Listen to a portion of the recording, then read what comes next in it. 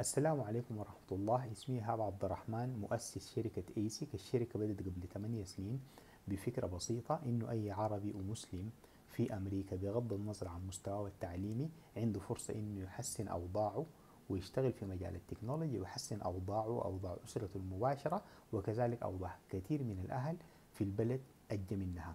كثير من اللي تدربوا معانا ممكن أقول 99% من اللي تدربوا معانا اشتغلوا في أفضل الشركات الأمريكية. عندنا طلبة الليلة شغالين في مايكروسوفت عندنا ناس شغالين في أمازون عندنا ناس شغالين في سيسكو عندنا ناس شغالين في آي بي إم عندنا ناس اشتغلوا في شركات أمريكية بعد ذاك لقوا فرص أحسن في الخليج.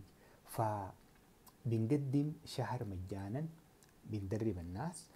الفترة بتاعت الشهر دي فترة مجانية. الغرض منها إنه أنت تتعرف على الشركة وتتعرف على نجاحات الناس اللي قبلك والأهم من كده إنه أنت برضو تقتنع بإنه مهما كان المستوى بتاعك بيه أنت بتقدر تشتغل في المجال بتاع التكنولوجي في أمريكا وتزيد دخلك كثير جدا بإذن الله. السلام عليكم.